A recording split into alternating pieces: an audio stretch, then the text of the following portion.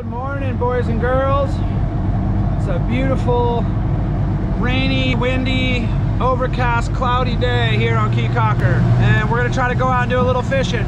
It's probably a little bit too gnarly out there to go outside the reef, and we'll probably keep it on the inside and in the back. We're gonna start by getting some sardines. Rolling with my buddy Chris today, Captain Mark. Mark's a real old school fisherman. I remember being a badass from back in the day, and I look forward to uh, getting some time on the water together.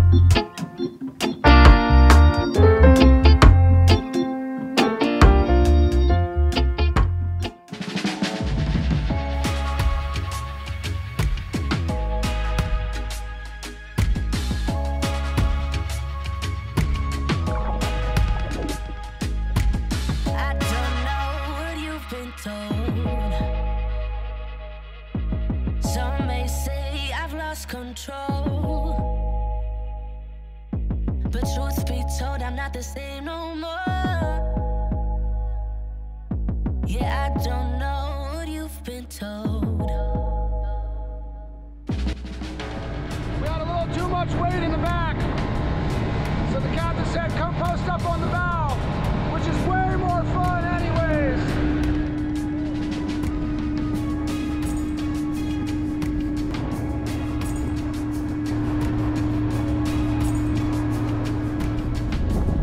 guys, we just zipped across the little uh, behind Caye Caulker Bay area here. We're pulling up in the mangroves. We're gonna see if we can find ourselves some sardines, because sardines are gonna be our bait of choice today. We don't have anything much larger. If they're not here, we'll go find them somewhere else. But there's a good chance we'll be able to find a school tucked up inside the mangroves in here. So it's gonna keep our eyes open, look for some sparkles in the water, maybe some little signs on the surface. It's real cool up in here in the mangroves though. You guys have heard me talk about how much I love mangroves.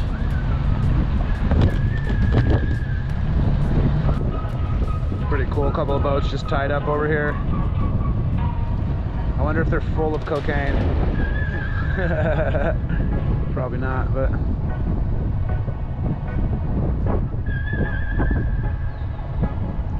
Saw our first little sign of sardines as we were cruising into this little back cove. A little bit of a um, scatter across the surface. And we're gonna cruise up into this little little cutty enclosed, kind of protected by a mangrove area and see if we can't find a bigger school and uh, fill up the live well real quick.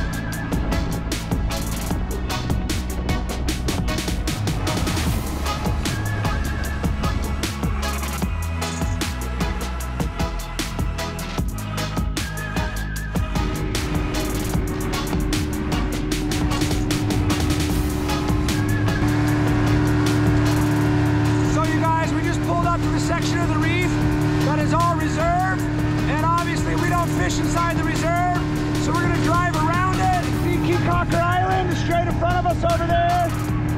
Real beautiful.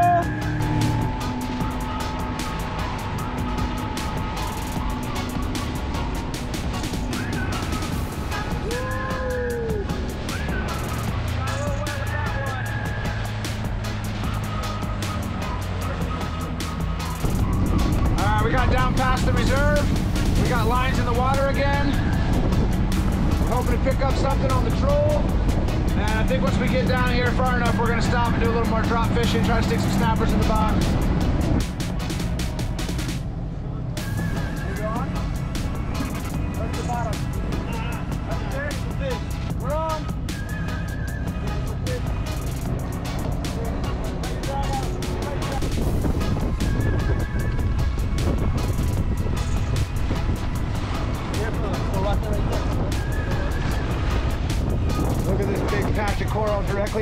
Us right here, you guys.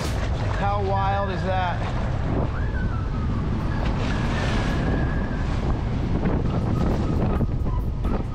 In order for us to get in here and get this fish and dodge all these patches of coral, it's gonna take some real swift driving by the captain. I'm sure he can do it. All the faith. Hopefully there's still a fish on.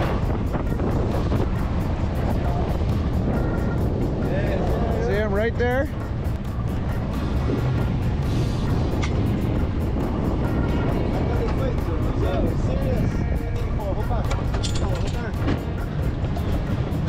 I'll be right here. All right, man. How's it feel to put a nice jack away? Nice, man.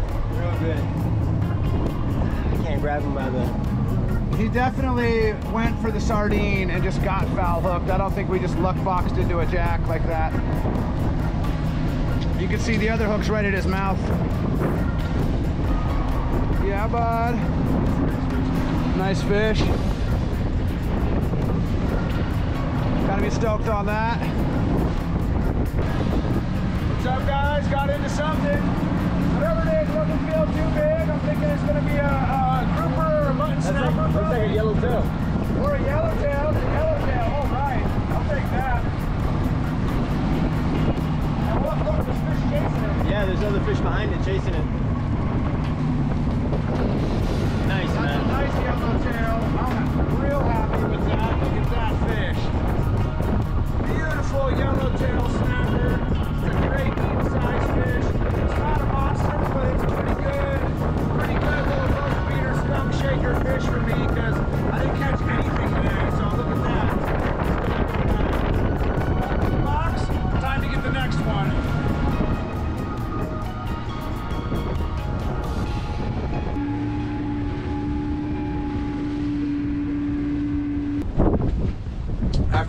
Towing, finally found a rock out front that we decided looks friendly enough to try doing a little drop fishing. So we're gonna soak some bait here for a little while and try to get into some snappers and uh, hope that the waves aren't too obnoxious. There's a fish. First, first fish of the drop fishing second session for me. And there's a grunt. So unsatisfying. It's so unsatisfying. This guy gets a pardon. Pretty little Spanish grunt. There's a good fish. These have great fillets on them and are definitely an eater fish. And this little party is going in the box for sure. I didn't get any of the fight, you guys. But I just caught this this wild fish. I don't think it's actually a type of eel, but it looks like an eel. And they call it an eel. Look, it's long and skinny. Kind of badass. This one's gonna get a pardon. Uh, Mark says some people do eat these, but he's never had them, and I'm gonna go ahead and go with that. So, if you're if you're a old school local Belizean fisherman and you've never eaten something out here, I'm probably not gonna be the first to start trying it That out. one's on a good fish.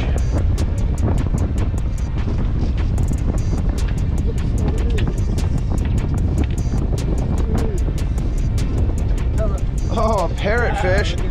Wild. I've never caught a parrotfish on a line. I thought they didn't eat eat um, fish. I thought they only ate coral. Oh yeah, baby. That one's pulling a little drag. That's what we're talking about. Yeah. Mutton Swallowed snappers. Swallowed it down. That's actually probably my favorite snapper to eat. It's not a true red, but it gets called a red a lot because they are a red snapper. And that's like a perfect, perfect size fish right there. Beautiful mutton snapper for the box. Stoked on that. There's another one. Not quite as big. Hoping it's not a grunt.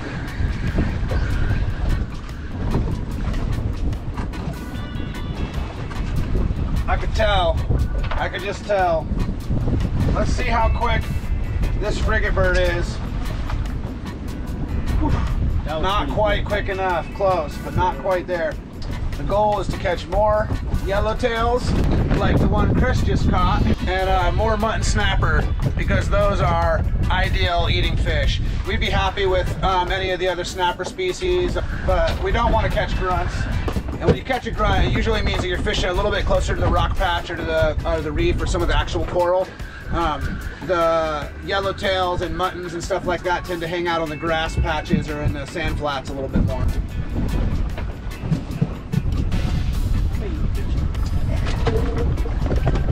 Look at that, these guys doubling up. Chris got another yellowtail.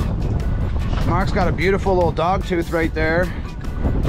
Now we're now we're starting to catch some fish. Beautiful sunset starting to happen in the background. I think we're gonna get into them. That's a good fish right there. I don't know what it is, but whatever he is,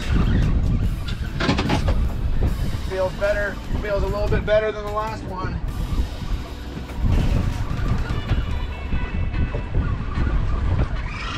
Wait, man, you wait. Oh yeah, so much better. This is oh, this they both missed is it. biggest biggest fish of the day. Woo! It's a Yeah, coral patch. To be real, I think the rockfish that you caught earlier was a little bit bigger even, but not even the biggest rockfish of the day. I just missed a good one for sure. Oh, oh, come on back now. Come on back now. Come on back now.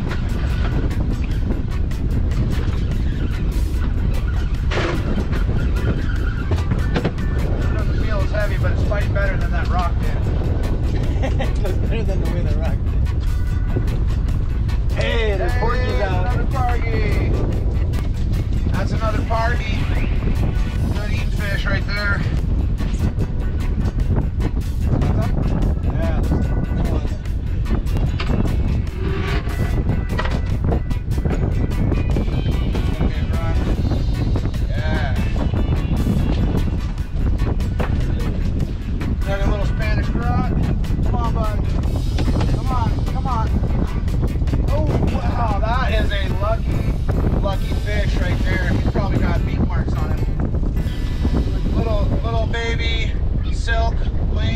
And uh, we're just gonna let that go. I'll feed a grunt to the birds, but I'd like the little snappers to get bigger. Chris just got into a little grunt right here. And look at who's already directly above us. Oh, that's they another lucky fish. These guys are blowing it today. You guys getting greedy.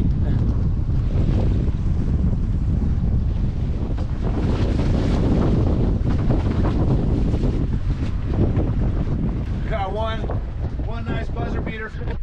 Put a little live sardine out and it got picked up. For a second I was all snagged up in the rocks, but I just got it free. Let's see what it is. It's a yellowtail. Is it? Yeah, it's a yellowtail. All right, you guys. Long story short, we have a whole bunch of snapper to clean right now and one big jack. So we're just gonna lay them out here on the dock and try to go to town. We've only got like a little over an hour until curfew. So we've got to get through this box of like at least a dozen fish or something like that in an hour. And the goal is to just scrape them, get the guts out of them, get them storable, pack them on ice so that we can really give them a proper cleaning or filleting or whatever tomorrow. And uh, we're just gonna start breaking these fish down real quick. Let's lay them all out though, yeah?